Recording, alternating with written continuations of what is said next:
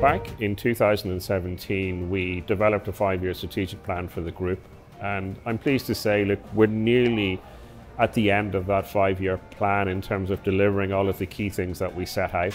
And the first part of that plan was really to make our stores destinations. So really within the last four to five years, we've invested very heavily. You're going to see this today, certainly in terms of Newbridge, uh, which I think is a good example in terms of where we've moved from of being a quality retailer to being an exceptional quality retailer.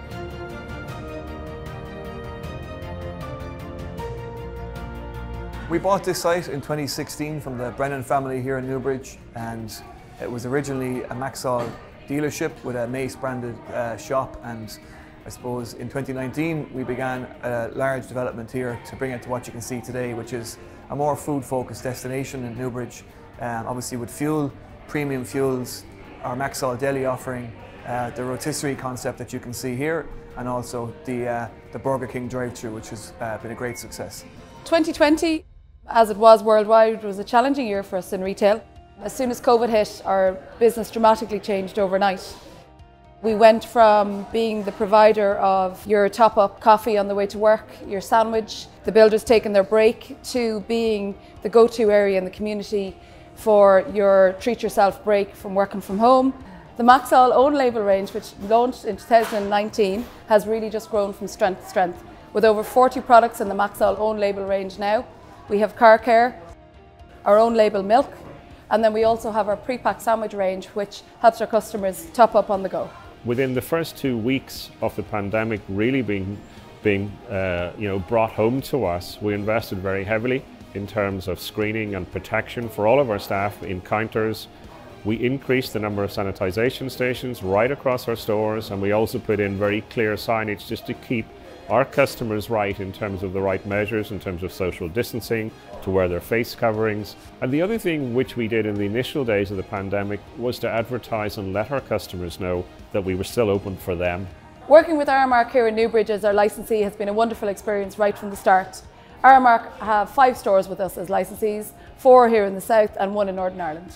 Once the pandemic hit, we in Aramark start every meeting with a safety moment. Part of our safety moment in Maxol Newbridge every morning during the pandemic was about training around COVID procedures and COVID policies for our customers and our staff. So the information is sent down every morning to our general manager Zoe.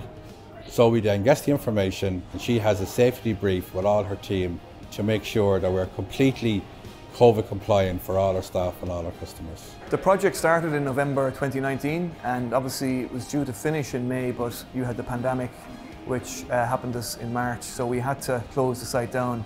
Whilst it took a little bit longer we completed it in, um, the, in August 2020 and you can see the great uh, development that we have here today. Yeah, look, 2020 was a fantastic year to celebrate our centenary uh, but obviously with COVID-19 that brought many many complications to what we actually could do as a business. But one of the big things that we actually did bring to uh, uh, to actually celebrate our centenary was the book launch, uh, which really was a celebration of the 100 years of our rich history. And really the background to that book was researched by Noel McMullan, one of the family, and also the book was actually written by Turtle Bunbury, one of the famous Irish historians. And we brought that and we launched that really just towards the end of October, early November last year. And that was the first point in terms of bringing together the 100 years in terms of our history. In terms of, of where we're moving to, obviously mobility is being challenged, electrification is coming, climate action plan and all of these new targets set by governments right across the globe are going to have a big impact in terms of traditional liquid fuels that we have been selling for over 100 years. So therefore we've got to start to reposition our business. By the time we reach 2030, I believe there will be more electric vehicles on the road uh, than what we have today, most definitely. So therefore we need to be able to serve those cars and we need to have an infrastructure in terms of where those cars can actually charge. And we're looking at that within our business already. But also there's going to be a shift. People just won't always charge their vehicles within our forecourts or in terms of public charging parks. They're going to charge at home. And that's why you know, we've gone into a joint venture in terms of setting up Bright Energy, which really is selling electricity to domestic households right across Ireland, south and north, but also going into the SME sector. We will soon be starting to supply our own green electricity to our company owned sites right across Ireland by the end of this year. Again, we are working on a new joint venture to launch Eco Express, which is a click and collect delivery parcel business which will serve all of our sites and another 1500 locations right across the Republic of Ireland where your parcel can be left for you there to pick at a time of your convenience.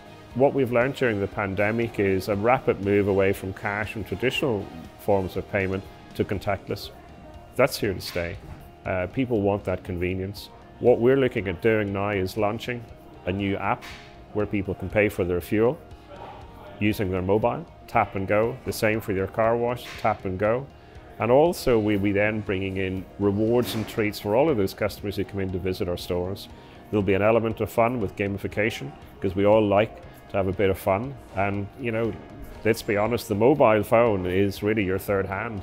In Maxol, we launched our premium fuel offer in uh, mid 2019. While we wanted to give the customer a premium fuel product um, as people are investing in their cars and really starting to mind their cars, um, we also wanted to do something for the environment. Speaking to our customers, it's very important to them and it's also very important to ourselves. Our carbon offset project is based around our premium fuels and every time a customer buys a litre of premium fuels from any of our service stations on the island of Ireland, we offset their exhaust emissions. In terms of our coffee brand, the first thing that we decided to do when we were launching Rosa Coffee was to make sure all of our packaging was compostable. Not just in terms of the cup, but the lid and the stirrers and everything else that, that went around it. It was also very important for us to make sure that we went for fair trade coffee. It's more expensive, but it's important that we make sure that the right uh, standards are being maintained for the producers. So sustainability for any forward-thinking organisation must be top of the agenda.